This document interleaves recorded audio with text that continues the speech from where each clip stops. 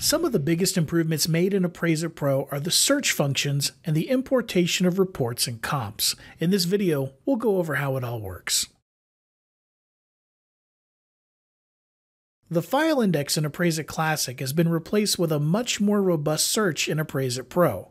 Just go to the File menu to open the Backstage view and select Search from the menu on the left. At the top, you have the Search Criteria section where you can type in search terms the more items you search on, the more targeted your search results will be.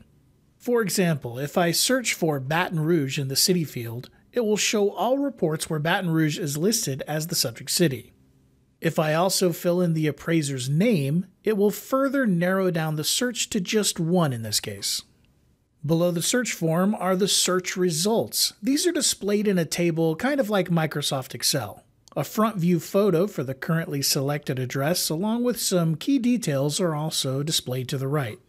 When you find the report you're looking for, you can open it by selecting it and clicking Open Report, or by simply double clicking on it in the results list.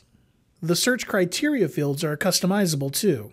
You can remove one by clicking on the trash can icon to its right, and move it up and down in the ranking by clicking on the arrows to its left and new items can be added by using the pull down menu for Add Field. There are two main ways you can import a report's forms or comps into an existing open report. The first way is by using the search function in the file menu that we just went over. Use the search function with a target report already open. When you find the report you want to import from, right click on the address in the results grid and click Import Forms or Import Comps, or use the buttons in the lower right.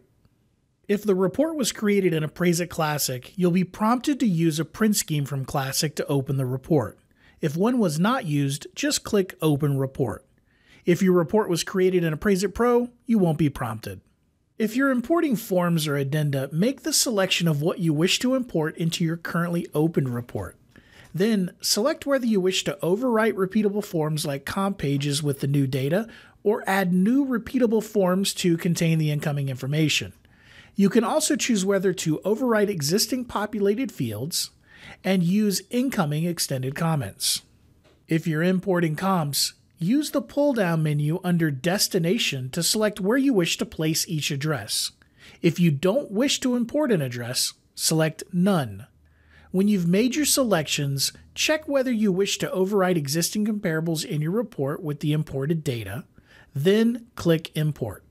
The second way to import is done from within an open report.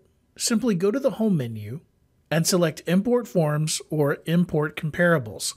The process is very similar as before, but there's no search functionality, so make sure you know which report you want to import from first. And that's it. If you need any help or have any questions, email us at tech at sfrep.com or give our tech support a call seven days a week at 800 644 4051. Thanks for watching, and as always, thanks for being an SFREP customer.